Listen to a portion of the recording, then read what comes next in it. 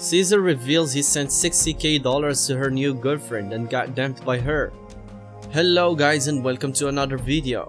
They say when a stupid man is doing something he is ashamed of, he always declares that it is his duty. We still not get enough from all the memes on social media that always troll this man. Even after Maria had sucked him off and left him dry, Caesar still doesn't seem to learn a thing from his damn bummer. He already went out there again and start sending money to another beautiful girl. From her appearance we can assume for sure that she looks like an LA model that has started a new online career. But Caesar did send her 60k after selling off all his properties and things he owned. He even proposed to her. So, why did she leave him crushed and heartbroken?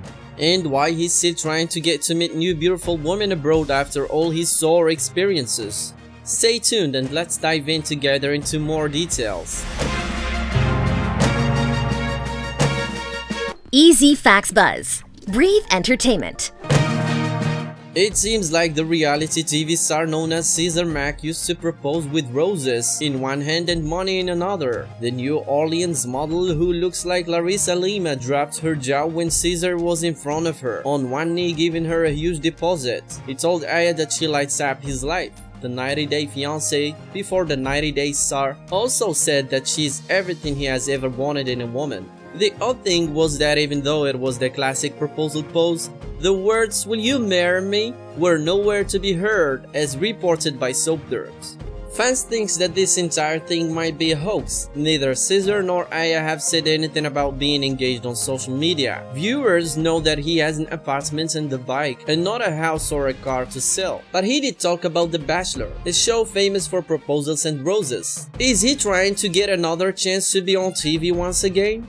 The new girlfriend doesn't seem to get along with Caesar's fans and mocked what she called her haters. In fact, appearances are not the only thing Aya has in common with Larissa. While fans spewed critical comments on her for accepting Caesar's money, she thanked them instead. Just like her doppelganger, she is the haters going to hit type. Aya thanks haters for helping her gain clout and called them supporters. She also said, you can hit while laying in bed, but I'll continue to succeed and grow. In another post, Caesar mentioned that his romance with Aya is over. She accused him of not supporting him enough unlike rapper Soulja Boy, and wrote that his quest for love continues. Just like the last time, Maria's ex is dubbed and hungry for some more love. But this time, if the cash is not fake, he has suffered a huge loss. So, what do you think guys about Caesar being financially broke now? Please leave us your comments in the section below so we can know your opinions and don't forget to like the video and subscribe to the channel for more contents. Thanks for watching and see you in the next video.